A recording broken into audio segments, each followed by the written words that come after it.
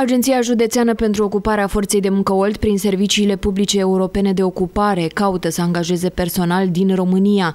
Pentru olteni, astăzi sunt disponibile peste 100 de locuri de muncă în șase țări membre ale Uniunii Europene. Astfel, Belgia, Germania și Norvegia au în total 56 de locuri de muncă vacante în toate domeniile de activitate.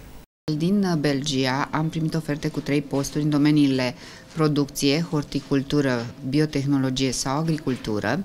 Din Germania avem 41 de posturi în, hotelier, în domeniul hotelier gastronomie și în domeniul feroviar. Din Norvegia avem 12 posturi în gastronomie producție, în domeniul farmaceutic și în servicii clienți.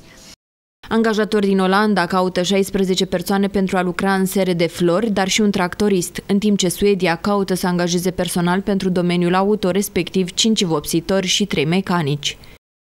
Din Olanda, 16 posturi în domeniul horticol și din Suedia, 8 posturi în domeniul auto. Cea mai bogată ofertă vine din partea angajatorilor spanioli, cu 538 de locuri de muncă vacante. 500 de posturi sunt destinate muncitorilor în agricultură, recoltat, fructe roșii, smeură, mure, afine și căpșuni. De asemenea, pentru Spania mai sunt disponibile 30 de posturi de analiști relații cu clienții, pentru care se solicită limba germană, engleză și spaniola, precum și 8 faianțari pavatori. Pentru mai multe relații, accesați www.eures.aneofm.ro sau la compartimentul EURE situat la parterul instituției AJOFM Olt.